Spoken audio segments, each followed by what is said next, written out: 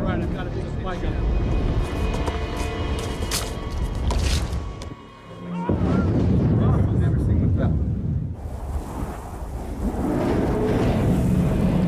that one of Stark's? I don't know. Guy never tells me anything. Hello! You are using unregistered weapons technology. Identify yourself. Here we go.